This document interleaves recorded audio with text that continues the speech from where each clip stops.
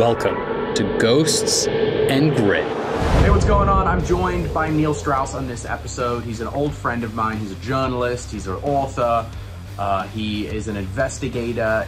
Phenomenal guy, really interesting interview. We do a deep dive into some of the projects he's worked on, some of his current podcasts, uh, as well as the paranormal. So, uh, yeah, I hope you enjoy. Oh, and tidbit Neil Strauss is a bit of a survival expert, so kind of cool. Anyhow, let's dive into this. Let's dive in. Let's go. All right. Welcome to Ghosts and Grit. I'm joined by a, a longtime friend of mine, Neil Strauss. How are you, Neil? It's so amazing to see you. Again. It is. So It fun. is. I was I was thinking about it. Like we, there was a window where you and I we we hung out a bunch. We had a bunch. I think Yeah. we had like wild adventures that Yeah. probably couldn't even be mentioned here. Yeah, exactly. Yeah, definitely. You know, but that we also had some really good, like wholesome adventures, like yes. doing that search and rescue course, Yeah. and then the medical thing at your house where we had like the the uh, we were doing like the live almost like live tissue training. Yeah. You know, he uh, and what Jack's talking about is this uh, this urban search and rescue guy who brought us, who taught us basically how to do any kind of home medicine operation, gave us all kinds of like equipment we shouldn't be having, hmm and uh, but he passed away like within t- like two weeks ago. Kevin Reeve. Yes, Kevin. Yes. Yeah, yeah. No, I um, I uh, because I ended up taking his urban escape and evade course Right. some years ago, and then he did the show with my dad and I. He we went to his we went out to George, uh, St. George in Utah. Oh no way. Yeah, yeah, and uh, it because I and did you what was it did- from the weird like staph infection? Is that what ended up killing him? Remember, he had that. This is a cautionary story for those listening, which is I think he just had a small cut on his foot. Yeah, Was on a motel room carpet. Uh, woke up and it was so infected and blew up, and he had the staph infection and would have died within a couple hours if he didn't get to the hospital. yeah, Yeah, so I don't know the reasons why. I know he drank a. Uh, please don't sue us, Monster, but I know he drank a lot of Monster. yeah, yeah, you know, and I just think, uh, but um, it's interesting. I always had this discussion with him, and again, I really don't know what it's from, so I don't want to make any guesses. But about how survival was survival and surviving the apocalypse was so important. Mm. But then he ate so horribly, yeah. you know. Um, but I but I love him, and like he taught so many people so many great things, Oh and had such a good heart. That guy was such a wealth of knowledge, Yeah. man. And he was a boy. He came up being like was like an Eagle Scout. Yeah, it was the coolest. Just for context, it was the coolest class, and we brought it on this stuff, which is you tell you how to escape from handcuffs. Yep. How to like run with a ball and chain. Mm-hmm. Uh, what else? How to pick locks. Yeah. Which I think was really useful when you're uh, locked out of something and you have your I've, own. I've used it so many times. Yeah. Like had to like oh I can't get into my house and like the kits that he showed us how to like showed how to make and man it was in like you couldn't put a price on that knowledge. My, my favorite, and it's such so simple, is to get to get over a barbed wire fence. You take the mat in your, your car mat. Yeah. You throw it over the barbed wire and just climb right over. Yeah. Don't try this at home. Yeah. Please don't try this at home. And uh, well, if you're gonna do it, just don't get caught. right, right, and, and take responsibility for whatever happens. right. Not Jack and Neil's fault. How did you? What inspired you? Because what you wrote emergency what 13, 14 years ago. Yeah. What back then was your like catalyst for like, hey, you know what? I need to get into survival. It's wild how everyone's into survival now from what we've been through as a country in the last eight or ten years. Yeah. So so back then it was like we were born in this golden era where you know World War One, World War Two, the Great Depression. Those are things for grandparents or great grandparents, and then literally the Cold War was ending, and so there was like just no threat at all, Yeah. like other than oh gas prices are high or you know or the or the tech bubble burst. Like we lived with these kind of golden this generation that had this golden spoon in our mouths, then all of a sudden, you know, you can trace it to to 9/11. Like at that moment, all of a sudden it was, oh shit, we have enemies. Mm-hmm. They're here, and they're killing people. Um, so that was the first moment when, and then all the decisions we made afterward that led to a lot of disastrous things now. So I think that was the first moment when, like, oh, there can be an attack on our soil. Um, and then B, when Hurricane Katrina happened, Mm. and I know it's to to imagine to see on the news a disaster that the government knew was coming, and bodies floating in the streets of a U.S. city, and you realize how defenseless we are as individuals. Mhm. Like the entire system and every system is based on our trust in it. That's the only currency it has. And when you stop trusting it, and we're seeing what happens to all our institutions now, because everybody, nobody trusts the system or the institutions anymore, whether it's the health or the police or what have you. So I realized I had to take safety into my own hands and be responsible for myself. Yeah. And someone raised in our generation who had no real skills or talents, I started from scratch. And so talking to Kevin Reeve, Tom Brown at the Tracker School, uh, all these extreme survivalists, I just sort of asked them to teach me everything to the degree so I could survive in the woods with nothing but a knife Yeah. and the clothes on my back. What what got you into it, by the way? Um, you know, it was kind of, you know what, you probably, it was probably Katrina. Wow. It was like the same same thing. Like I remember, I was I was on a I'd climbed El Cap the week of Katrina. So like when I you know it was a seven day climb, and so when I started the climb, everything was fine. And when I came back down, I I walked into like a, a liquor store or whatever just to grab a drink, and it was like oh, uh, New Orleans is gone. It's like a wasteland, and people are just murdering each other in the streets. I was like, holy shit, like that. It's one thing, you know, and this was only four years after 9 11. And I'm like, wait a minute. We're getting attacked by terrorists. They just wiped out, you know, downtown New York. And now cities are being swallowed up by storms. I'm like, I should probably know what, like you, like what the fuck to do here. Um, and it just kind of really planted a seed. You know, a few years later, I started getting into shooting and um, you know firearm stuff, and it just it's been like a con- it's it's funny. Like I, you know, the prepping kind of fad, you know, has kind of come in waves over the last you know twenty years, but it's something that like me and my core group of friends have always kind of just it's it's almost like a part of lifestyle for us in a weird way. Yeah. yeah. I mean, and it's so cool. It's it's really actually fun to know how to forage Yeah, and find find your own food and, Yeah. and realize there are all these edible things just growing by the side of the road that are actually great. yeah. Uh, but you know, and then I know you're probably getting to this as a question, but COVID, Mm. then with this preparation we had, as it was happening, I remember I emailed my mailing list and said, "Here's what you should stock up before the lockdown and everything," Yeah. because it was clear that this was going to happen. Fully. I remember in January I was I was in I was in Hawaii on vacation and I'm seeing they're like, oh Chinese you know, China's locking down its cities, you know, canceling travel." and I'm like, Oh wait, this is coming here. And I remember we were in production on a on a shoot and I was like, Hey, get in contact with the insurance company and find out like what what's their plan?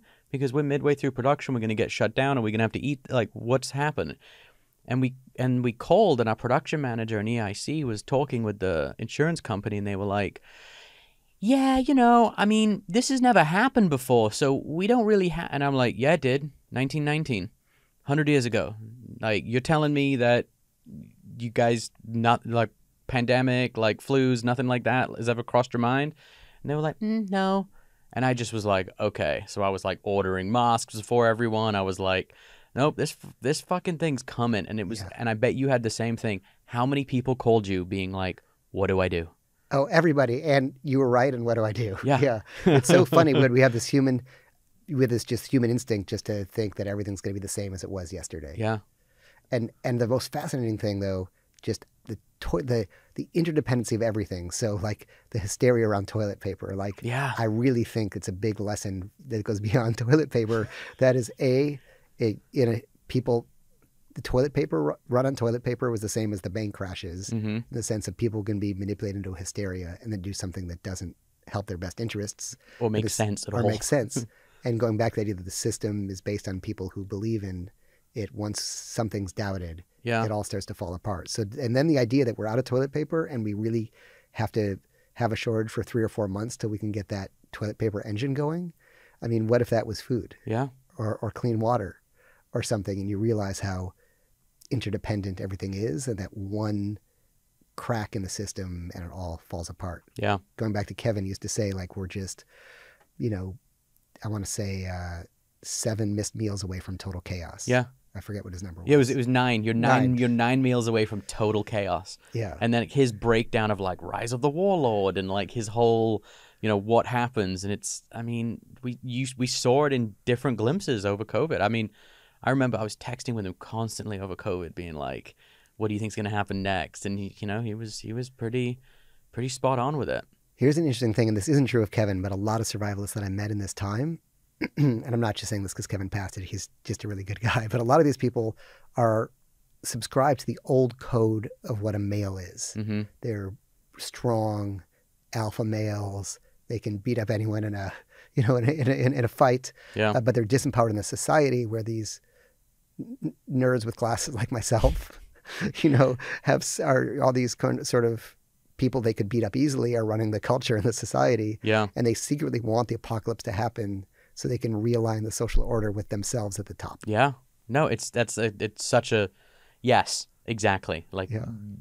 perfectly put because it is it is a I think there is a level of like there's a level of fantasy with it to a degree because it's like all right, you know, am I going to like you said, am I going to rise to the top? Right. And if, and if you're the strongest person with the greatest survival skills and that can fight off an army, well, you're on Elon Musk's survi- uh, security team, yeah. right? you're not Elon Musk. No. Yeah. Yeah, it's you know it's really interesting. So when I did when I did um, Kevin's um, urban escape and evade course, much like it was years after we we did the the thing together, um, we uh, I was in Santa Monica and we were doing a couple nights sleeping out rough and all that and and we realized like oh there was a sneaker shop and there was a bunch of people sleeping because uh, some new sneaker was dropping and so they were all sleeping out on the street and we're like wait this is great. Like these are all none of these people are homeless, but it's safety in numbers. Like there's a kind we can kind of just blend in with this group of like sneakerheads.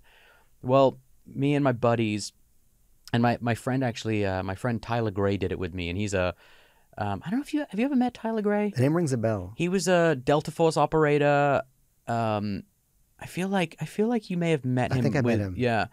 Um, but he was doing the course with me because him and I would always just jump in and do. And not that he needed to do it, but he Right. he's one of these guys just loves to learn stuff.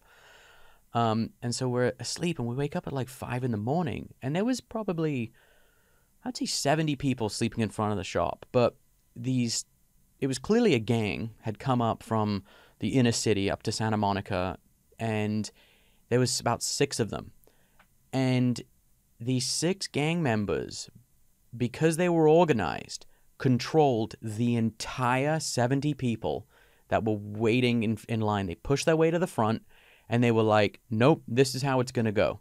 We're here for these sneakers. We're getting the sneakers first that we want, and you can't do shit about it. And I went back to Kevin with it, and it was like, it really hammered to me like, wow, a tiny group of organized people can control a much, much larger unorganized group of people Yeah. and it was it was kind of scary. They were like, if anyone wants to come and like challenge us, you're gonna die right now. Right. Right. And the question is to what degree is that happening in our culture now? Yeah. To what degree is that happening? You know, what degree are the cartels running Mexico and Yeah, all these all these things? And I'm really I uh there's a quote from Frank Lucas, uh, American gangster. Mhm. Uh, you know, he's like, "Respect is nice, but if you want to get your money, they need to fear you." yeah, And the power of fear, and and that, and why sociopaths and psychopaths often rise to the top in yeah. societies. It's funny. It's like I I think you know to that point, I think that's you know that sentiment is probably why. Not to get too conspiracy theory Right. here, but like why the government went so hard on the January 6th rioters. You know, they were like, wait, they no longer fear us. the you know the the the mob essentially just thinks they can come in and roll into the capital, and so now they're like, "Fuck it, we're putting these people away for as long as we can, so no one tries to do this again." Yeah, it's true. You have to make an example. If Yeah. you don't, if you don't, then wh- whoever has the next idea can go do it. Yeah, Yeah, you Yeah. have to make an example, and I think it's true. I think there are a lot of people in prison for whatever reason. Uh, uh, it, it could be, I think, from financial crimes to uh, to gang leaders or something that their punishment doesn't fit the crime. Yeah. but they're trying to make an example and make a point. yeah, exactly. You know, it's Yeah. the, it's like the, the the it's this it's this equivalent of like public executions back in the day. It's Right. like you know, It's like so we can be, faith and fear are the two things that operate. Faith that the system works like it's supposed to, and then fear that if I question that, I'm in trouble. Yeah. It's, you know, it's just a fucking. It's so. It, it, I think the COVID, that those that time, you know, that two and a half, three years. Yeah, It, it I was discussing this with someone. It's like I, I say it was BC and AC. Before COVID, after COVID. Oh, I totally, totally, totally. you know? Yeah. No, in fact, when someone says when did that happen, I think, oh, it was before COVID. That's literally just a time period. Yeah. It's a now. It's like a. It's a. It's a marker for the history books because it, the landscape is totally different. Yeah. You know, and, and the things that you and I had prepared for of, you know, a war, a famine. I didn't. I didn't. I never realistically thought two and a half, three years. You know, for my planning, I was like, okay, like I'm I'm good for like a grid down six to nine months, but like three. You know, we we went went nearly three years with it. And here's what here's what I didn't let's say prepare for, or think of when I wrote emergency, but experienced anew with COVID, which is that the disaster isn't the disaster necessarily; it's the people's response to the disaster. Yes. So I'm more scared of people's responses to AI than AI itself. Yeah. You know, it's people with AI that da- danger. Like there sure is a scenario that AI decides we're irrelevant Mhm. or decide has some instructions that's supposed to create paper clips and turns the whole universe into paper clips and all those different scenarios around AI. But either people with AI or people's fear of AI or it's our relationship to this stuff that's dangerous. And Yeah. same with, you know, and same with COVID. People are people were literally families were disintegrating over a different belief Yeah. in something where now they can actually discuss it now that that's over. But it was wild to see us tearing ourselves apart over. Yeah. Have you thought about writing like a, a part two to emergency? I'm thinking, but I really think it would be more about the psychology Yeah. of this stuff, you know, and, and the way people are so quick to see another group of people as evil. Mm-hmm. And I mean, I think I think a lot about dark, but I think your podcast is the right place for it.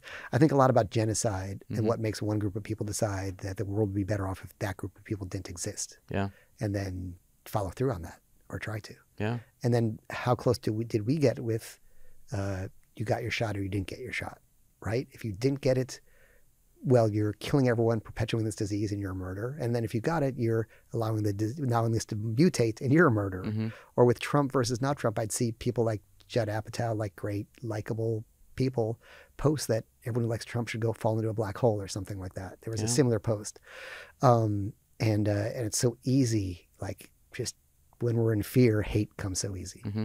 Yeah. We. I think it's. It, we go back to that primal instinct of you need a tribe up. What's your tribe? We're scared. We're gonna die. All right. What What's the right tribe to survive in? Yeah. We just everyone reverts back to that in one way or another. and we can't deal with uncertainty. No. There's a there was a study that after 9/11, um, that people who had witnessed or experienced it or lost relatives to it had a rightward shift in their policies and were attracted toward an author- authoritarian leader who gave them certainty. Mm. Interesting. Yeah, That's fascinating. yeah, it's interesting, right? Yeah. What you know, so much of the the the work that you do, it kind of dives into subcultures to a degree. You know, it's you know Yeah. whether it's the you know the, the pickup artists, you know, in the game, or I mean, fucking the Dirt, Motley Crue. I mean, you you you do these deep dives into these very kind of unique worlds. Where where did that come from for you? Yeah, it's a good question. No, no one's ever asked that. Though I do that, but no one's ever asked that. So that's interesting. I think it, I mean, probably comes from growing up feeling alienated in your own family, you know, and feeling like you don't fit in and trying to find your tribe or your people and getting into subcultures anyway. So I think it comes from that. Mm-hmm. I think that's probably like the psychological origin. And then I find like, I just find, I find, uh, I love secret knowledge that's hidden, you know, and getting into some group or some community where they feel like they have all the answers. And Yeah. um, I just find, I just find that fascinating. I think like getting, going where you're not supposed to go. Mm. So I went for the, New York- when I was writing the New York Times, I went to, I, I would find some excuse to go wherever I wanted to go. So I wanted, there was a, I want to write an article. There's a style of music, a folk music that is only made in the mafia in Italy. So I went to like meet with the uh, mafia in Reggio di Calabria in Italy to and and to go to their feasts and write about the music. But really, I'm fascinated by the subculture. And What I was that like, dude? It was wild, You were straight in Yeah. the Italian mafia. Right. What an interesting way in. right? I have this theory, and I really need to look it up. When I would go to the home of like a mafia mafia don, they'd have like the cliche. They have you know birds everywhere, Mhm. and I have an idea of why. I'm not sure. I haven't like Googled it or anything or asked ChatGPT or whatever you do now. But do you have any idea why they have birds all over their house? And Uh, is it to in case they were being recorded? The Yeah. birds are chirping all the time. that's so what I think it is. Yeah, Ah, I don't know if that's true, but I realized they all had them. I'm like, why would you have so many fucking birds interesting. in your house? Um, and there was it was so. Uh, and I remember like I went to I went to one like mafia feast. And after I was interviewing the mafia don, and I said, "Well, as the head of this group," and he's like, "I'm not in the mafia." I'm like, "I just saw you like talk to the whole mob." Like he's like, "Nope, I'm not." And I love how they could just like charmingly lie to your face. And even within the mafia, there's just divisions. There's like, well, we're the old mafia. We have honor and uh, you know respect women and children. The new mafia doesn't have that. Mm. So in any subculture you get into, there are these di- these divisions that were that other another group. Wow. Well, yeah. It's. I mean, it's. Uh, you know, everyone kind of clicks up no matter what. Really. Yeah, yeah. It's like a, b- businesses the same way. You know, you've got the old, you know, the old timers in some corporate, you know, structure that all kind of hang together and want nothing to do with the new guys. And yeah. Yeah, and if you can if you can be unattached, and we see this now with the this generation or this the whole Twitter divide on woke, anti woke, or whatever. Mhm. It's like just it's literally like if you can hold your beliefs loosely, you're going to be a lot happier. Yeah. No, it's. I think that's a great way to put it. Yeah, it's like don't don't live and die on a certain hill because that hill is always going to change. It's it's going to change, and people can't accept that. Like Yeah. my son, and I'm sure it's true of your kids. Like again, we're like touching all the tropes of of our culture, but whatever. You know, my son's like he's totally cool with whatever you know gender choice people choose to make and how it is and how the, he doesn't give a shit because he's raised in this generation. Yeah. And the other people who are so certain this is the way it is, like, why are you certain? That's just a belief you were born with. It's all it's all made up. Mm-hmm. Yeah. There's no there's no real.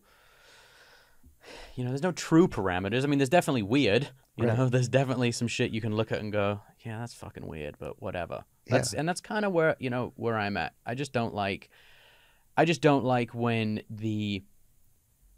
The theoretical is being taught as fact.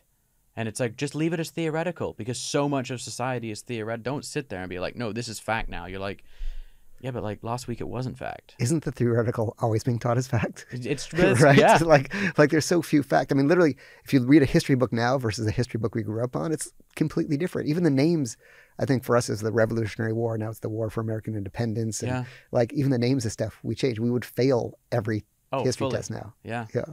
So it's all like there's so little fact. Yeah.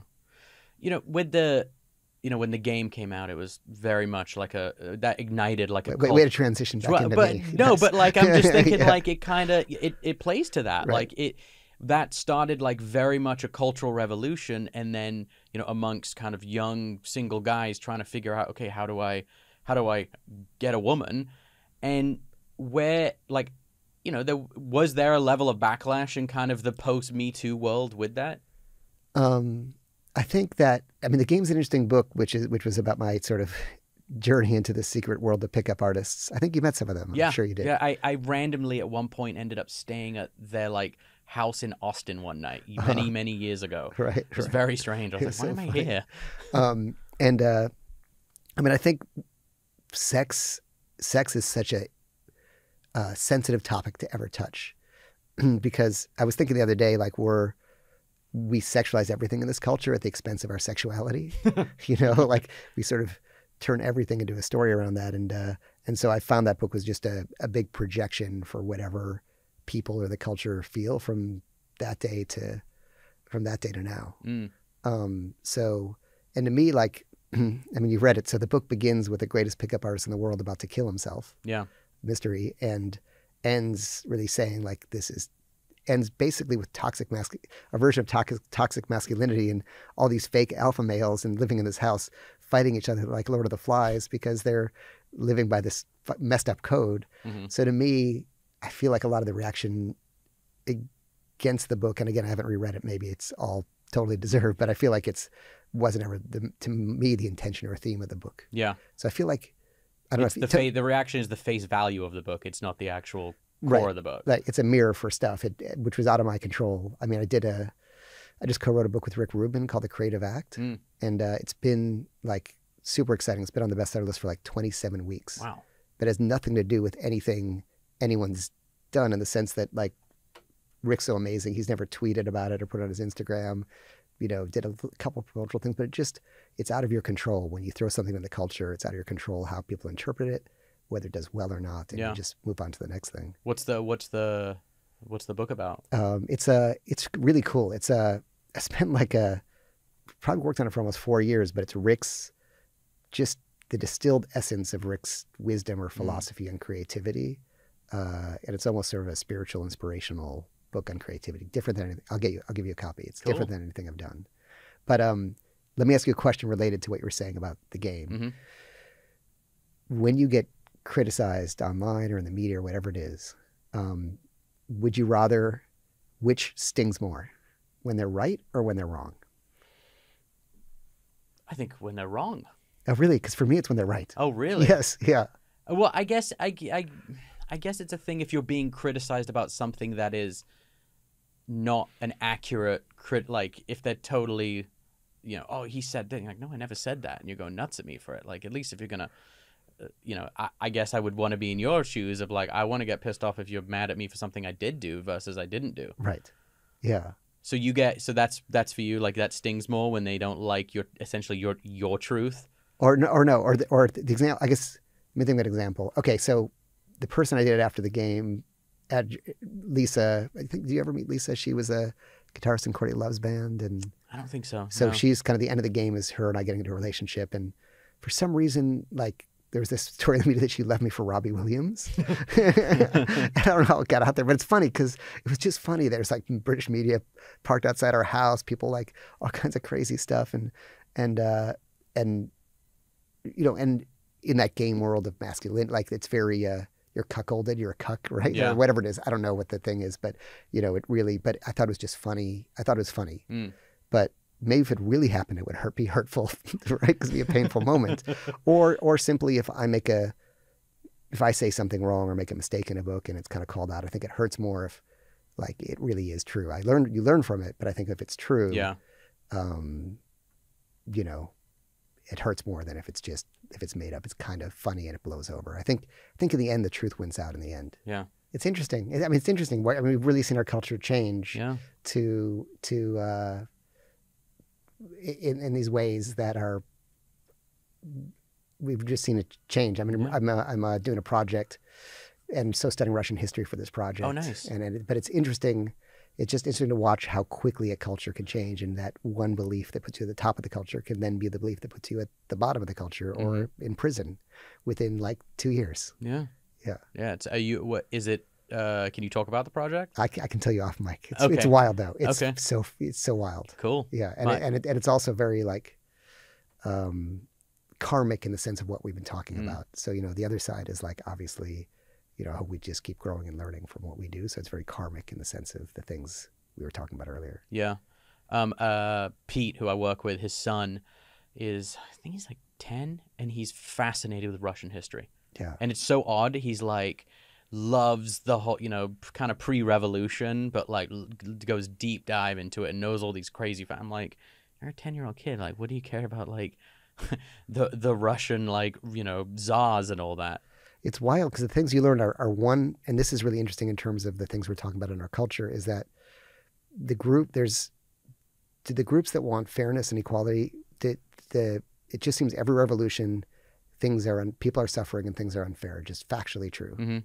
And then what happens, it seems, is that the that some group rises to power and creates a new unfairness Mm-hmm. where the people were, and then there's just a new group that has all the power and the privilege, and Yeah. another one that doesn't, and and and then they will murder a lot of people to try and enforce the way it should be. So Mm-hmm. you know, again, if you read the Marx, you know, the the the Communist Manifesto, the Communist Manifesto, or, or the the Marx Engels book, uh, or essays or whatever they are, um, manifestos, um, and then you compare it to what happened. It wasn't meant for like some small elite to be in charge. Like, Yeah. the workers are supposed to be in charge, but then they were. I'm reading now about how they're just there are all these ideas to turn the workers into complete robots, like talking to Pavlov about how can we get rid of their emotions, and you know, and get rid of independent thinking and It- things like that. And- Isn't that why there's fluoride in the water? exactly, exactly, exactly.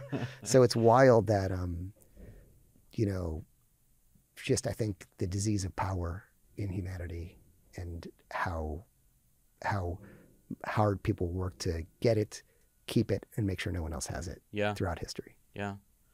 Um. Sorry, but we can we can get out of this loop because it's so we could talk about this forever. Oh, yeah. So No, we can talk about the grit and Well, dude, all right, grit. Where where do you think your grit comes from? Because you Um, are like, you know, Neil, like you are a surprisingly gritty guy. Right. You know, you you you roll your sleeves up and you you dive deep into these worlds which most people either don't have the stomach for or just uh, can't wrap their head around, and you just you you barrel right in there. Where do you think that comes from? Yeah. Explain the surprising part. I'm trying to decide whether to be offended or not. yeah, I'm trying to decide Well, whether this is a truth I- to be offended by or a false thing. That's but your like problem. a, a New York Times journalist, okay, Right. yes, you are like an investigative journalist, but like, I mean, on face value, it's like you know, you're, you, you know, you, if I were to see you, didn't know you down the street, I'd be like, okay, that guy works in like the arts, you know? right, right, right. Totally, totally. And like maybe he can lift a weight. Yeah. so um yeah, so I, I think I think it comes I think it comes I don't know, this may, it sounds like a road answer in my head, but thinking out loud is I think it comes from curiosity. If I get curious about something, like I need to know the answer like at any cost. So if I think if I'm curious about something, that's part of it. And maybe it's the that if I give up or I don't follow through, I don't see it through, I'm not happy with myself. Mm, So so if I start something, I need to finish it. yeah. And if I say I'm going to do this, I really need to do it. So I think that grit comes from like, yeah, just not letting go. Until, Perseverance. Yeah, perseverance. I think it's I think it's perseverance. Is that something that you had as a child, or is that something that you uh, developed over time? Yeah, good question. I'm trying to think if I had. Um. Yeah, it's like it's not like I had a it's not like I had a father figure that taught me that. Mm, uh, at all. I mean, again, I, I think it's more, um, it's more like I think my house was like a fascist system. you know that uh, maybe that's why I'm interested is in the while I'm reading about all these other other things. I think my house was a fascist system you had to sort of survive in. mm. Where where did you didn't grow have up? a choice in Chicago. Okay. Yeah, and so you really didn't have a choice. What was said went, and if you disobeyed, the consequences were extreme. Mm. You know, you're sent to the yeah. The Gulag. yeah, exactly. I mean, that's it. I don't know if anyone has read the Gulag Archipelago book. I um I actually have it downloaded because of, of you know my it's a isn't it like a twelve hundred page book? Yeah. Um, my buddy was like, dude, you got to read it. You got to get into it. And so I have it downloaded. I just haven't cracked it yet. There- there's a, there's an abridged version that was written with Solzhenitsyn's sort of consent, mm-hmm. and if you just get the audiobook of that, Okay. it's it's just it's insane the stories, and I think sometimes reading about this can make you can see what to what to be grateful for in Mhm. our culture instead of feeling like like you were saying, are you, uh, fuck man, they'd be fucking grateful for cancel culture there, you know, Yeah. you know, like like I'd like you know what I mean. So when you ask if you're afraid of these things, it isn't that they're they're intense consequences to them. They're horrible consequences to them for people, both psychologically and you know financially and all kinds of ways. Mm. But it's still better than being in the gulag. Yeah. Oh God, yeah. I mean, so, it, it so so it's it's all fucking relative. yeah. You know, it, is it is that you know it's it's just all relative. So remembering what to be, what what are real consequences? Like, yeah, what are real consequences? Well, it's the and it's that, and I always say it's like anyone when whenever I sit there and I see someone saying, you know, this place sucks, America is so fucking problematic, and fuck this, fuck that, and I'm like, have you been anywhere else? You know, a lot of these people you see on the soapbox screaming about how screwed up this place is. You're like, hey, there are some much, much worse places than this. Not saying that's an Yeah. excuse for the shit that happens Yeah. here, but like, like, fucking go go check out some of those places, and you might rethink like how shit goes. Yeah, we have a desire. To, I always think about that. We have a desire to make it better, but can we at least like? What if we just agreed as a, as a, as a world and a collective of people to say, let's just see if we can get everyone wherever they are, just having food, shelter, access to basic health care. Mhm. Just the can we just get everyone the necessities? Just everyone the necessities. Then let's go attack get on this other stuff. But let's just do that as the ground level stuff. Yeah. The way we try to have a basic education of basic knowledge or something. But if we can give everybody those, because I don't know how much of the world doesn't have it, but it's a large Oh, God, percentage yeah. if you travel. Now I remember kind of. You told me that you were doing a lot of breath work stuff. Right. Are you still? Are you still uh, in breath? I'm, I'm still breathing. Yeah. Still breathing. so so uh, yeah, there's there's two kinds of breath work I'm really into. One one is one is just just breathing as a r- regulation, whether you're doing some sort of the Wim Hof type of stuff, and then Mhm. there's the holotropic breath work. Mhm. Have you ever done that? Trying to think. You would know. I would know. Okay, because I, I do. I do do. it. I just don't necessarily know what it's called. Maybe is it the one where it's like an hour long and you literally have an almost psychedelic A experience. hundred percent. Yes. Yeah. Okay. Yeah. Like my. I. I. It's really weird when you're I, doing your hands. Your Yeah. hands My, up. my my hands curl up. I. uh Yeah, dude. I'll cry. Like whole thing. Right. Yeah. Yeah, that it's the great. It's as far as like trauma healing goes. I think that doing the holotropic breath work, which is it's an hour and you do this, you sort of breathe, and it's really work because it is work, hmm perseverance, and grit to breathe through the whole thing. Yeah. And they sort of you sort of go on this ride, and by just breathing, shit starts unlocking in your body. It's yeah. It's like that Bessel van der Kolk book, The Body Keeps the Score. hmm So we we're used to talk therapy and it's about our thinking, and this bypasses the thinking, and all of a sudden weird memories surface or trapped. Again, my house was like I was saying, we were very tightly controlled, so I my hands start just moving because I couldn't I couldn't freely move or Yeah. Strike out or something. So it's it's really great to do, and it's a it's to me it's safer than a uh, plant medicine type of stuff because you can just if it's too much you can just stop breathing, leave it at any time. Yeah. Yeah. Do you um so yeah, the I usually do it was the the pranayama two stage Uh huh. is is the what I I have done the most of when I Yeah. do breath work. Um I mean, it's I was there was a there was a phase where I was like really like hitting it hard and uh, you know, I'll I'll dip into a breath work like I've, I have a group of guys that I do it with and I'll go in like, you know, once every 2 3 weeks. You know, we meet on like a Tuesday or a Sunday and you know, do the breath work and then fire and ice and Oh, uh, that's great. I got. I got the sauna cold. It's it's so weird, man. And I, th- by the way, I think Stan Grof, if I get his name correctly, is the one who really pioneered this type of breath work Mm. back at Esalen in the '60s. I don't know how I know all this shit, but but well, because you're an investigative Yeah, exactly, researcher. exactly. If I get into it, I need to know who did it. Like I love EMDR for therapy, and Uh-huh. I wanted to go meet before she passed away Francine Shapiro, who created that. So I really get into these things. But Yeah. it's so weird. Why do you and I get such parallel interests? I know it is really odd. It Yeah. is. It's funny. Like I, Yeah. yeah. it's uh, yeah, and it's always at similar times too. Yeah. We're kind of like you know ships kind of on the on on the same body of water, just over the horizon. So what problem in our lives are we trying to solve? Man, I yeah, it's a great question. I Yeah. uh, I think for me, you know, it's just about just trying to experience everything in a weird way. Like, Yeah. oh, I wonder what's that that's like. You know, can I do that? Is that possible? Is it because we, we are afraid to look at ourselves and be alone with ourselves? I Oh, mean, I really mean that. Yeah, no, I um there's there is there is definitely an element of that for me. Like I I am not good just being alone. Like I'm not good with, you know, idle hands are the devil's tools. You know, I have to constantly be doing something if I- if I have time at home just by myself, I'm playing a video game to distract myself. It's, you know, I love having a ton of kids because it I'm occupied. I have to do, you know, this that and the other. It's, you know, it, uh yeah, I don't I'm not good alone. So, so are you scared of a silent retreat? Um, I it's terrifying to me, but I I do want to do it. yeah, I, it's funny that's the one thing you haven't done. Yeah, Yeah. I want to do. I uh, is that is that the Papashna? Is it? The vipassana? Yeah. Yeah. Um. Yeah. My, my I have friends that have done it and they were loved it. Have you done? Uh, have you done the dark room? Like the No, I want to do that too. Yeah. yeah. yeah. It's it- funny how we'll do these other intense things, but we'll take this the silent one. We'll Yeah. last. Yeah. I had a I had a friend who did it and he said it was, it was it was mind boggling. I just man, I'm like I have to go to sleep listening to a podcast or watching TV because if I lay there with my eyes closed and I'm not occupying, I'm not occupied, like my head just starts screaming. Right. What Ed? What do you What do you think? And what do you think you're afraid of that will happen, or the thought that will happen, or the dark place you'll go to, or I think it's probably just either coming to terms with things. I think it's probably that. You know, it's it's. I think it, it is maybe rooted in my my isms.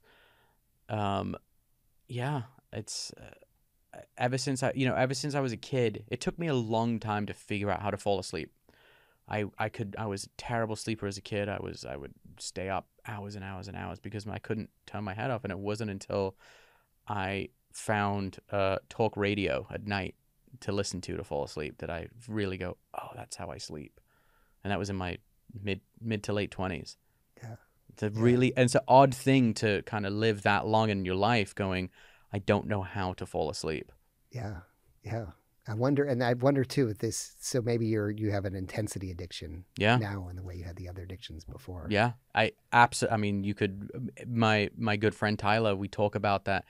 We're addicted to chaos. Right. Like I, I fucking love chaos. Like the idea of chaos, living in chaos. Like I, you know, I don't know what I would do without a certain hum of chaos in my life. But then when you're in the chaos, do you have a complaint like I just wish what's your complaint? Like, I just wish this. I just need some peace. I need. I need a break. Yeah, and I think that's probably why I I do things like fire and ice and why I do you know breath work stuff because I think it's a way to digest digest some of that to where it doesn't physically manifest. Yeah, yeah. I'm thinking about it. So maybe, maybe, maybe our thing then is to just do a year of doing nothing. Yeah, fuck. Can you imagine? I'd have to do something. Right. I mean, maybe planting a garden. Just, just, yeah, just, yeah, just, as, but you'd be like, you, you'd be like, it's gonna be the best garden, and I've studied all the, you know, ways to plant these so they grow the best. Like Yeah. you would, you would like, uh, but, uh, but yeah. So listen, what, what are we gonna commit to then? The Vipassana or the dark room this year? Okay, Let's do three days in dark, and then we'll do seven days. Start with seven. I think it'll be great. I think, I think you'll get to insights about yourself and your life that you haven't had before, just because it's another way to access yourself. Yeah, yeah. And it's scary. Like I feel it in my body. Oh, yeah. yeah. I'm like fuck, going to bed. I because I so I just did this. Um, Imagine stillness. This, imagine stillness, Jack. I can't. I Yeah. I really I had uh, I just did this uh, show for Fox. It was this special forces selection show for uh, for Fox, and um, I was one of the contestants on it. And being at night, just laying there in the black room when it was time to go to bed, I couldn't turn my head off. So I'm I'm curious to what seven days would look like. Yeah, yeah. And if you could eventually turn your head off, Yeah. like Yeah. I feel like something will snap. You'll have some breakthrough Mm. of some sort. And the question is, can you hold on to it afterward? That's my biggest thing I see is people they come back from these things and they're literally glowing. They're Mm-hmm. new people, but then the same old forces in the environment get on them, whether it's the family stuff, work stuff, all the same forces, or it's like someone getting out of rehab, Yeah. right? And then the same environmental forces press on them and they revert. hmm So if we do it, maybe join the men's group I'm in, and we'll stay accountable to our new Okay, stuff. I'm in. Okay, cool. Have you uh have you done any of the plant medicine stuff? Um, no, I got like I got dosed by an evil shaman. What? no joke, for real. Yeah, Accidentally or on purpose? I mean, on purpose for them and accidentally for me. yeah. Okay. Yeah, I'll tell you. I'll tell you. So, so, and then it's I have some like psychedelic PTSD. Oh, okay. So I haven't. Have you? Um. Okay. So yes, uh, and I don't. I don't really talk about it because you know I've been sober like twenty years, Right. and but I have, you know, I did go. You know, I have gone down the um, plant medicine path uh, to kind of deal with certain kind of traumas that uh, therapy and you know wasn't really getting to the root of, and um, it was fucking amazing, amazing, like Yeah. totally one eightied, you know, w- you know where I was at.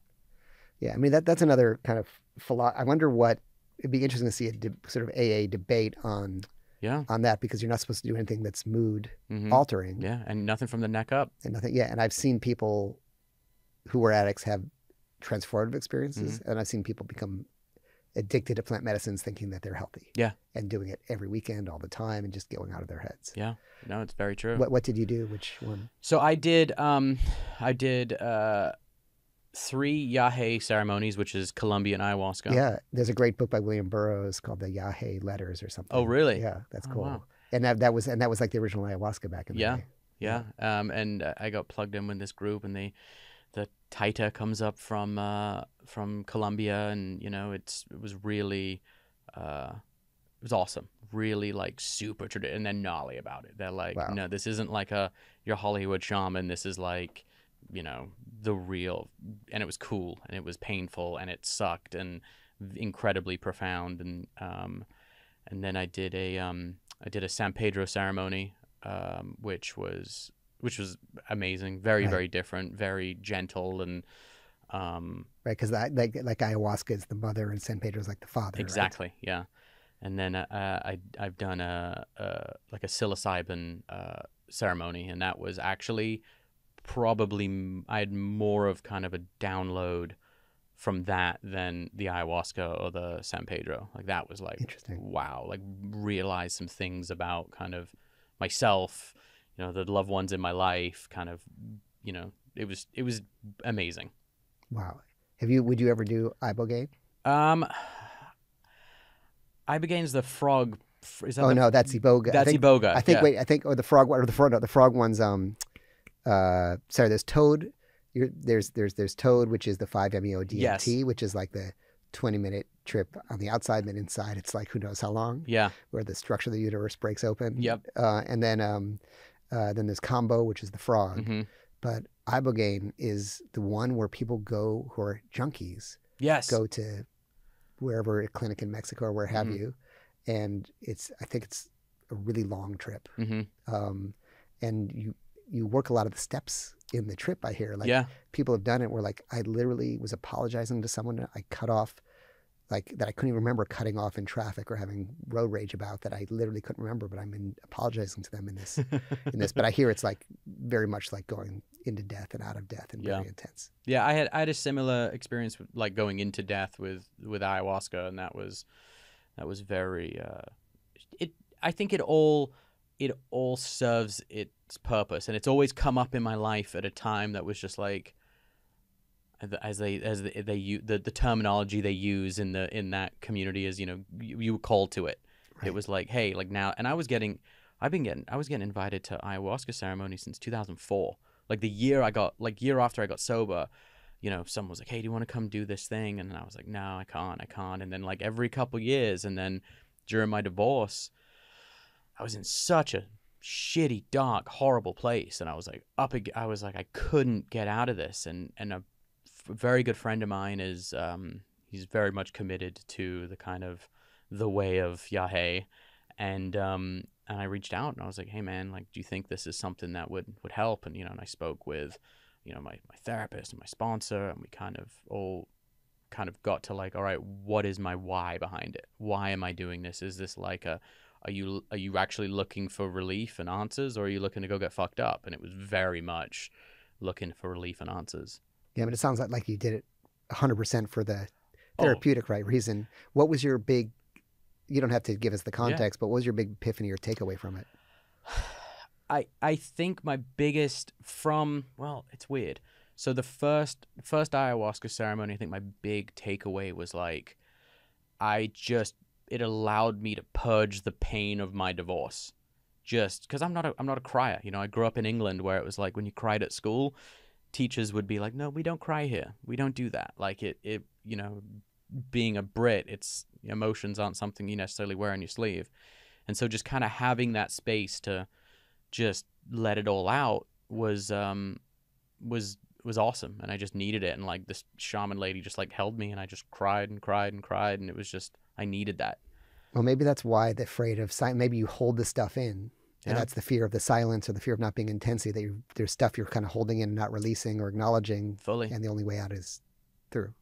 Yeah, I Yeah. need I need a bit of uh I need a bit of rocket fuel to, to you know to, to to launch that emotion. I mean, I think that's like, you know, again, I think we talked a lot about the, you know, the game and emergence and that kind of stuff, but like where I'm at, and maybe where you're at now too. And I think like the whole world is here now, but I did that book, The Truth, which was like tr- healing my own trauma. Mhm. What, what drew me to that world of pickup artists, what hold that I have in myself. Um, and I really realized that if you, you're like a software program and you're, you're running on a flawed op- were running on an operating system that has some bugs and viruses in it, hmm and they were sort of implanted by your caregivers or early experiences growing up. And until you can kind of identify them, see how they're taking you off your path and messing you up, you're not really free. Yeah, it, no, it's I mean, yeah, no, I, I totally agree with that. It's uh, and I, you know, and it's funny. It's like I wonder, you know, it, to that point, you know, you ask like why why do we do these things? What draw it? Maybe Right. maybe it's maybe it's looking for freedom. Yeah. You know, maybe that's that's what it's about. And freedom from what for you? Well, as they, you know, it's the as the, as they say in you know a lot of AA literature, it's like the freedom of bondage of self. Right. It's like I I need I I need you know I'm I have something bound up within me and and I and I have to free it somehow. And what that is, you know, is it is it filling that God-sized hole with only God? You know, Right. I don't know. You know, Yeah. is it filling it with you know love of family or you know job or I don't know.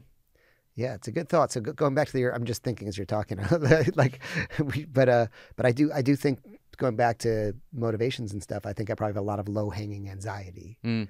And then if I'm focused on a project or focused on a task or focused on a climbing a mountain or whatever it is, I can focus all that energy there and escape from the anxiety. Even the cold, the greatest thing about the cold bath is your body's in fake survival mode all the time. You know, the things we're talking about. What if this happens? What if that happens? What about that? Or, oh, that's so scary. And then you're, or I have all this work to do. And if I'm not at this thing on time, and what if this doesn't succeed? Then you get in the cold bath and your body's like, oh no, this is a real survival Mhm. threat. This is an actual threat. The cold, uh, all that stuff is just made up shit. And I think it, it uh, allows you to let go of that and see what a real threat is. Yeah, yeah. Because I mean, you see, you just walk around the street, especially in LA here, and you just look at people's faces and the things they're talking about, and they have so much anxiety and stress over shit that doesn't matter, Yep. and they're living their life out of that, and they're like wasting their life out of that. Yeah. And I swear, man, like, and fucking, and then you know what happens? Like the universe might deal you a car. Well, you've been through this, and so I'll ask you about it. Like the deal, universe deals you a deals you a really harsh lesson where your life is on the line, or you're sick or something. And a lot of people make these revel, revel, re, big revelations, big resolutions about what they're going to do, and then they're healthy again, and they go back to the same old shit. Mm. So I'm curious, like you've dealt with some major health stuff. Yeah. Sure. Did you have insights, and did you hold on to the insights? Yeah, I mean, I did have I did have insights. I did try and do the oh, okay, you got MS. You have to like change this, change that, minimize stress, eat right, exercise, this, that, and the other. And I think for me, where I've ended up, you know, 11 years in, is just fucking charge. Don't don't take anything for granted because it's you know I have a very mild form of MS, but it's the the the thing with it. It can get bad at any point. There's no rhyme or reason, and doctors really don't know what causes a, you know causes it to to get worse. You know, flare up, whatever. And so I just try and it's like a bit of seize the day mentality of like, cool, like I, you know, I try and just ma- I try and maximize, which in turn can cause a lot of stress, which Right. isn't good but it's the only thing that's kind of I think for me that's really was made apparent was like you're not guaran- you're not guaranteed like you know mobility when you're an old man. So Right. I guess for me I, I, I don't I don't want to take that for granted. Yeah, yeah, we take so much shit for granted. Hundred Like, percent. yeah, Yeah. I, uh, I did an exercise. My book, interesting exercise, which is I had a group of, and people can do it at home. Um, and uh, it comes from a friend. Uh, she has a book coming out. I wish I could remember what the name of the book was right now. But anyway, um, I'll try to remember so we can put it in the notes. But but the idea was, what are you doing? If you had a year left to live, what would you do? Then six months left to live, what would you do? Mm, Then like maybe it's a week, maybe 24 hours left to live yeah. um, and uh, you can kind of see what's in common on those lists. But the crazy thing is, if you look at people's list of a year left to live, what they what would they do or something, like they're doing almost none of those, Mm. you know, or they're doing it at such a ridiculously slow pace, Yeah. and we do take for granted. And so one of my like goals lately has been like, really, what are the things I love? What's important with my time, and to just reduce your life to those. Yeah. It's And- so it's so important. Who is it? I forget who is it that they have this like digital calendar thing where it shows you how many weeks. Oh, it's uh, Tim Urban. Yes. Yeah, In a weird way, is it Tim Urban? I think I think so. he has like a he has like a gr- infographic like yeah, that. yeah, and it's like you know, if you live to eighty-five and you're, you know, in your forties, like this is how many weeks you have till you're eighty-five. I kind of, in a weird way, I looked at that and I was like, "Fuck you!" Like that's bullshit. Like don't re- don't boil it down to like little week. I don't know. It just it it it Made you know you angry. it made me angry Yeah. and I don't know why. Right. Like I just like, and I keep thinking about it. It just I Right. can't. I'm like, cause really, like You felt manipulated? in a in a weird way, Like they're yeah, using like fear tactics on you. yeah, exactly. I think Yeah. that's exactly what it is. That that that's a that's an item that is so rooted in fear. Yeah. Yeah. I think uh it's funny. I did it. And I'm like, oh shit, I got a lot of weeks left.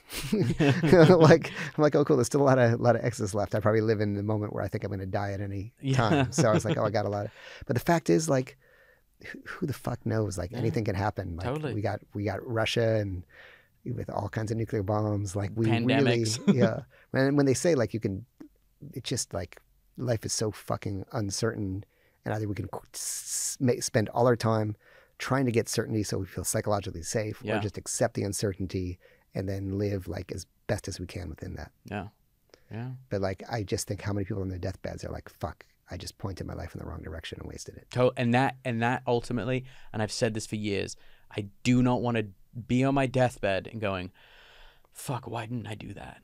Yeah. Fuck, why did I? Why did I do that? Like, I don't want that. Like, I well, you know what you're going to be thinking about? what? How much time you spent with your kids Yeah, and the quality of that time. yeah, yeah. Where where do you where do you lie with uh kind of death, afterlife? This kind of transitions us very nicely. Okay, yeah, okay, okay. Let's, let's hit Ghost, and then we've hit all, all, all Yeah. your things. I feel like there should be two separate podcasts because Grit and Ghost are I so know. different. They're so different, but that's why I did it because it's kind of like it it spans my interests. right, right. But Mm-hmm. I guess if you have a, a paranormal belief, it takes a lot of grit to stick with it in the face of Yeah. uh, of, of all this stuff. So wait, so where do I stand on Where do you stand? oh, life after death? life after death, apparent like you know ghosts. Do you think that's a thing?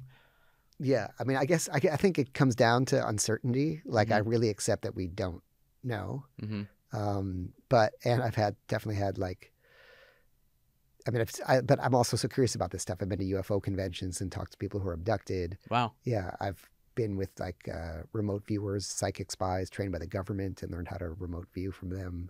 Uh, so I, I've gone to the Monroe Institute and tried to have out of body experiences. So Wow. I, I like fully. did you have an out of body experience? Um, I didn't. A lot of people did. I just couldn't lift off. like I felt like felt like whatever it is trying to rise. But everyone, it was very interesting. People would. So the Monroe Institute was founded by this guy Robert Monroe. Do you know about this? No. So he was like a. I'm going to get the story wrong, but just so the story is like a general sense of it. So he was sort of a very uh, white collar kind of worker, square guy in the I don't know, we'll say the 1950s or something. I'm totally butchering this, but uh, fortunately, they probably don't have enough money to sue us. So, no, so, uh, so, so, um, and he was just in his room. He started having these out of body experiences, and so he founded this institute to study it. So you can go there. At least you could. I haven't checked if it's still open. I assume it is. You could go there, and then you go in these little pod, and you go there to have out of body experiences. They talk to you about it, then they put you in these little pods. They'll play. Uh, he does a lot of the hemi hemisync binaural beats Yeah. kind Yeah. of stuff, and they'll have his voice playing, and he'll try to help you lift off and have these experiences, and you go up to talk about them. Wow. Um, and you'll love this because it gets into Ghost. They have like a, I think it's called the Explorers Program. Is this one I did with? Um, do you know Chris Holmes? no. Great, just great guy. Uh, used to play like keyboards in the Smashing Pumpkins, Chicago Okay. magician, musician, but the same kind of mind like us. You should have him on. He'd be a great guest. Okay. Uh, so, so they also have this program, I guess that advanced program where they go to haunted houses and they go into their out of body state and try to communicate with the ghosts and like set them free. And they have like recordings of people talking with the ghosts and Wow. setting them free. We were a bit upset about that because it really ruins the haunted houses of, of the country. Really? Wow, you guys really killed this place. exactly, exactly. Like we have no haunted houses left. But but it's so but it's super interesting and it's super fun to do. Parts are parts were like a little woo woo for Mhm. me, but it was also like I, I think it's cool just to try this stuff. Going back to where you're uncomfortable. Yeah. Yeah. It's uh, you know, it's funny. It's like because I've had so you know so many experiences where you know my kind of rational, logical, like kind of science rooted brain tries to sit there and be like, no, that's not possible. But like, you know, when I've been in places with like a flashlight on a table, being like, hey, if there's a ghost here, turn that flashlight on. The fucking flashlight turns on. It's like, what? What is that? You know, am I is that am I using some kind of telepathic power? Is that am I just plugging into the matrix, or is it a ghost? Is it what the fuck? Yeah, yeah. I mean, it's I mean, really, like if you look at how many very credible people have had very incredible experiences, hmm it's large. I think like Muhammad Ali had like 27 UFO encounters, according to him. Wow. you know, Jimmy Carter had UFO encounters when he became president. He was like, I'm going to like declassify this information. hmm I think Ronald Reagan had something like that that he was investigating. So, so many, so many people have these experiences and, but we can't logically understand them. So we, Yeah. I mean, you can talk to anyone and they've had something they can't explain. Oh God, yeah. Yeah. And I feel like we keep getting close about declassifying this information and letting it out, but we never somehow get the answers. You know what's funny? I think the you know releasing the UFO stuff right now, I just look at it as a stagger. It's all staggered disclosure. It's Right. like um, it's like what doctors are trained to do. If uh, I forget, someone I had a therapist tell me this that she trained doctors on how to give parents the bad news that their child had died. And what the issue was, like, I guess all these parents were having these horribly traumatic mm, experiences from the doctor, like, we're sorry your child didn't make it, like, right off the bat when the kid, you know, oh, it was a car accident, your kid, like, you know, brought him in and, you know, he's dead. Like, they, they train doctors now to come out and be like, hey, your son's in the operating room, we're working on him, you know, we're, we're trying to figure it out. And then you know 30 minutes later they'll come out hey you know he's he's not he's not doing great. We're still working on him. We're still trying to figure out all the while that this child is you know expired. And but they slowly will release the kind of horrible news to the parents that like hey ultimately your child has passed. But they do it in a way which allows time for parents to start rationalizing and processing and kind of coming to terms with this what ultimately is terrible news. I think it makes sense. It makes less of a trauma. I think of that with children's raising children too. If you, you know, if you sit your children down, you tell them the news that you're divorcing or whatever it is, it's a big, impactful, traumatic experience. Yeah. Versus slow, these things kind of slowly happening, so they seem like a natural part of life. Yeah. Trauma is something that happens so suddenly and just shocks the system and creates a real scar. Yeah. so I do like that idea of just gradual steps into something that's unthinkable or painful. Yeah, and I and I think that's exactly what the government's doing with the UFO stuff. Every you know every six months, oh, more information, more more footage, more oh a congressional hearing now where them some whistleblowers are like, oh no, we've got aliens and this that, but it's always been, if you notice at this stage, it was like what I've kind of seen it as, oh the government has now released this footage, we don't know what it is, and then you know, the pilots that shot the footage came out to be like, yeah, I, I, I captured that footage. And now you've got whistleblowers who heard from someone that there's aliens and there's, you know, non human living specimens, as they, whatever they called it. And so I think the next step is that you're going to be, there's going to be a whistleblower at a congressional hearing that's been like, no, I handled the non human and I think that's just how they're going to just slowly roll right. it out. So in a year, it's just going to be normal to be going to the Smithsonian and seeing the alien bodies. Yeah, God, it'd be great, right? Yeah. yeah. but I do, I do think you're right. I think it's it's like how do we titrate the information? Yeah, so that someone's system can handle it. Yeah, I mean, really, we like I believe that we are we are the most adaptable species, mm and we can kind of adapt to any kind of yeah. information, but we're also the most hysterical species if it happens quickly, right? Yeah, yeah. It's so true. Like, yeah. uh, uh, I mean, with the ghost stuff, I sometimes think, am I a part of some high level psyop? Because I make ghost shows for Discovery, and has Discovery been told to make these ghost shows by the government to slowly kind of get everyone used to the fact that like there is some kind of dimension that is interacting with our own? Yeah. You know, is yeah. am I am I like a pawn in the chess game? Yeah. Do you, what what do you have a like a strong theory on ghosts? Like a strong like this is how it works. I like do. I kind of I kind of think it's. I have like buckets. Okay, there's five buckets that I think it could be any oh, one oh, of these things. Okay. You know, the first is the kind of most obvious. Like, yes, maybe I am interacting with you know the soul of a once living human and somehow their consciousness is no longer in our kind of three-dimensional reality that they're in this strange energetic you know the the, the traditional th- you know think of what a ghost is. You know the second is is the is it just interdimensional? Is it go you know we just cease to exist in a in a in this reality and you know whatever we're made of goes to another one and and somehow that is allowed to blip over right. uh, into our space. Um, the th- you know it's almost more like quantum type shit. Right and all times happening at once so yeah. we're all existing and at once. Exactly and it's you know it's that whole thing of like time and space doesn't exist so it's yeah it's just it's basically like pages in a phone book. Right. You know everything's just touching and you know whatever. Um the the third is you know is it um there's some strange unknown undetected energy spectrum that when we encounter it, it elicits uh, hallucinations. So, like people that live under power lines, I always, I always use this example. Like people that live under power lines can get headaches, they can feel nauseous, they can get physical reactions to the EMF from the power, you know, power lines. And but uh, you know, for the longest time, science was like, no, that can't happen. You're just, you know, whatever, hypochondriac. But it's like, no, it's a real thing now, and you can get, you know, essential EMF poisoning. Um, are we? Is that happening to some energy field? We just don't know what it is. Um, the the fourth is um, is it essentially more toxic? Is it are you breathing in mold?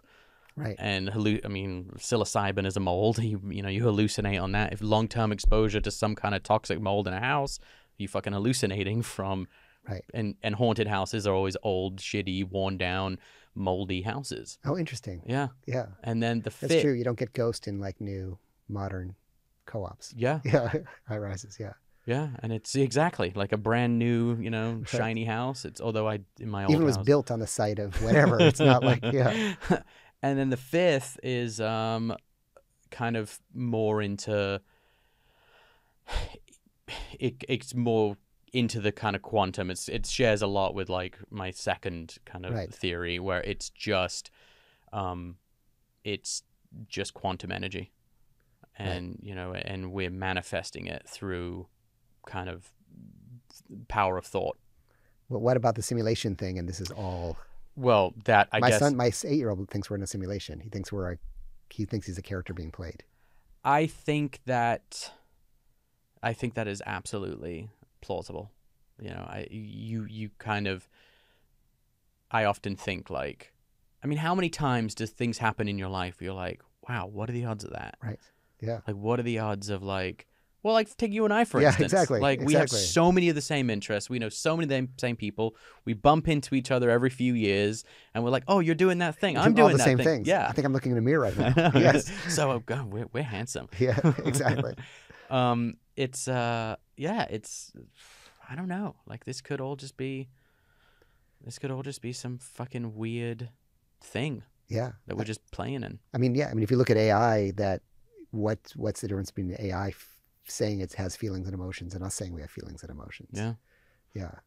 are you scared about ai for uh you know as far as being a writer and creating things Uh, no, it's interesting. You keep. It's funny that you ask a lot of kind of, are you scared of questions? And like all these scared of questions are like, well, there's if that reality happens, how do I adapt to it? Yeah. Right.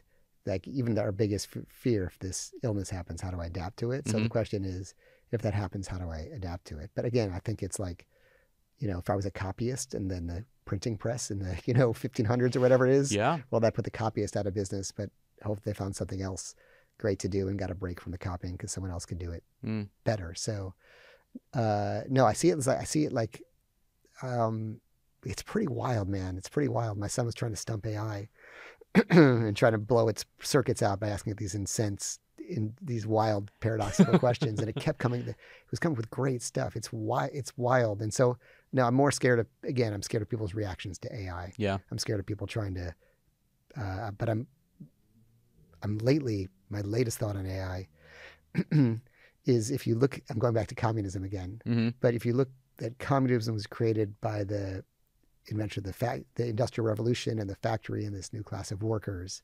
So I'm wondering with AI, what are the political and religious paradigms that will form around it? interesting um, and how much of our will we end up in a um, in a completely uh, algorithmic political social system. Hmm. Uh, for example, they uh, I think again I could be getting this wrong, but I think Google about privacy laws they can't. I'm getting this slightly wrong, but they can't now tr- say they can't track you now, but they can put you in a cohort. So what if they find that s- s- mo- like a certain percentage of people in this cohort are committing violent acts? If you happen to be in that cohort, are they just going to arrest you ahead of time, like Minority Report? Mm. So my question is, how are we going to handle this intelligence? I'm less worried about that than how that intelligence is going to handle us. yeah So, and also what changes in like I think that our children we were talking about earlier, you know, when you're even your oldest is an adult entering the real world after college in 10, 11 years, like how different is that fucking world going to be than now? oh my god Yeah. it's fucking just And our kids, the last generation of like naturally born, randomly assigned sperm and egg yeah children. Yeah, you know, my my it's funny. so My fiance, she wants to, you know, she wants to have another kid, and she's like, I want a boy, and and I'm like, cool, but like, I don't want to do the this you know I don't want a doctor involved in it. I just want to Yeah. keep it. I want to keep it old school. Yeah.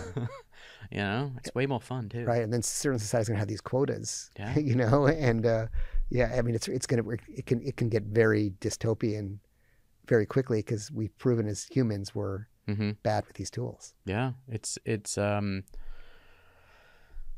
It's exciting though, in a weird Yeah. way. Oh, Like I kind of, I kind of sit back and I'm once again being the chaos junkie. I'm like, "Oh, this is gonna be fun. Oh Like, yeah, what's gonna happen now? yeah, You know, it's, it's well with the with the writer strike and and you know actor strike right now. I'm kind of enjoying the chaos of it all because it it it's kind of for so long, you know, forever Hollywood has always been the the the king of the castle. It's always been like the tastemaker of the world. And you're seeing actually how really fragile Hollywood is, just like everywhere else. right. So so so is so is Sam Altman or you know whoever from OpenAI, is he Oppenheimer or like Edison? Yeah, You know, and we don't know yet. no, Yeah. we really don't. Yeah. I mean, it, but it's wild because, like, I think of AI as the first tool we've created that's capable of leaving the toolbox. Mhm. And it's like a trip.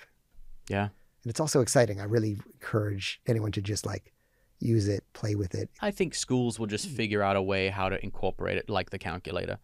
You Yeah. know, they'll just have assignments where they're like, okay, well, what was the prompt questions that you put into ChatGPT to get that answer? Right. We're like that wasted time generation. Like, like us writing a essay, like, or, or, a, or a thesis paper Yeah, is like using an abacus. Like, we're that generation now. yeah. It's like cursive. No one uses it anymore. yeah it's why it's so it's yeah but i agree it's so cool what's happening and like i think not even the chaos it's like getting to experience history in your lifetime mm-hmm.